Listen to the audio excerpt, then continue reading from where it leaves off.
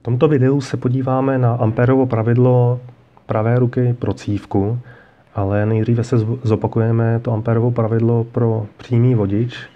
Ten nám říká to, že pokud proud bude procházet vodičem v nějakém směru, takže ten směr je reprezentován palcem pravé ruky, takže vidíme, že ten, ten proud směřuje ze spoda nahoru, tak potom skrčené prsty nám ukazují směr magnetického pole. Takže ten směr vypadá tak, takto. Co se týká toho grafického zápisu, tak já doporučuji, abychom, abychom to, co je blíže k nám, tak to kreslili nepřerušenou čarou a to, co je, to, co je dál od nás za tím vodičem, tak to, abychom přerušili, což um, jakoby reprezentuje to, že, že to nevidíme. No, je, to takhle, je to takhle přehlednější. Takže v tomto případě vidíme ten krásně ten směr, jak to vypadá. Tak, co se stane, když ten vodič vezmeme a uděláme z něj eh, jednoduchou smyčku? Tak já to možná nakreslím takhle eh, rozměrně, takže ještě jednou. Takže takhle uděláme smyčku a necháme ten proud procházet od plusu k mínusu. Takže směr proudu je takto. A budu se snažit nakreslit magnetické pole pro ty jednotlivé části té smyčky. Takže začnu třeba mm, tady v, tom, v tomto místě. Tak potom podle Amperova pravidla pravé ruky, pokud v této části proud směřuje doleva, takže palec ukazuje doleva, tak potom magnetické pole bude vypadat takto. Takže směr bude takovýto. Takto, takže to znamená, že uvnitř té Uvnitř té smyčky magnetické pole půjde ze zhora dolů a v ně půjde ze spoda nahoru. Můžu to nakreslit třeba pro další část, takže to by vypadalo takto. Takže to tady opět to bude směřovat dolů uprostřed a venku to, to bude směřovat nahoru. Pokud se podívám na tu na tu, třetí, na tu třetí část, na tu třetí stranu smyčky, tak tam opět magnetické pole uvnitř půjde dolů a v ně půjde nahoru. Takže takhle a takhle.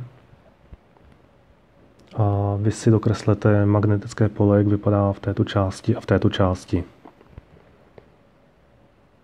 Tak, když se na tu smyčku podíváme ze zhora, tak můžeme kreslit pomocí toho zápisu, který známe pro magnetické pole. Zjistili jsme, že uvnitř té smyčky eh, vypadá to magnetické pole takže směřuje ze zhora dolů. Takže já kreslím takto.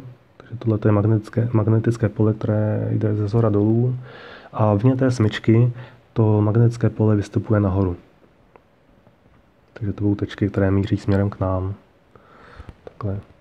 Tak a můžeme se podívat ještě na jeden pohled, protože je dobré si zvykat takhle na ty na to zobrazení a bude to tedy pohled, že se koukáme jakoby odsud z této strany. Takže potom eh, dále od nás ten proud jde takhle směrem doprava, potom nakreslím takhle lehce třírozměrně. Takhle. Pak jde zpátky doleva, pak jde od nás zpátky. Takže takhle. Takže směr toho proudu je takový, že Eh, jde od plusu, potom dozadu, doprava, k nám, doleva, od nás a doleva. Tady plus a tady minus.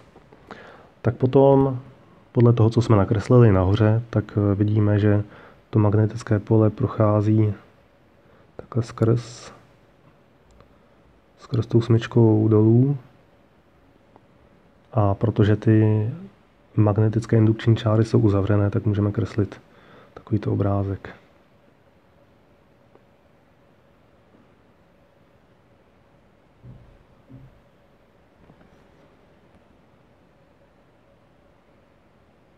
Takže vidíme, že pokud vytvoříme smyčku, tak jsme vytvořili takový miniaturní magnet nebo dipolový magnet, nebo zhruba, protože mm, v tomto směru, v tomto směru ty magnetické indukční čáry směřují dolů a venku, venku směřují nahoru, což je podobné tomu, co jsme viděli u normálního tyčového magnetu, který vypadá takto a magnetické indukční čáry toho magnetu vypadají tímto, tímto způsobem.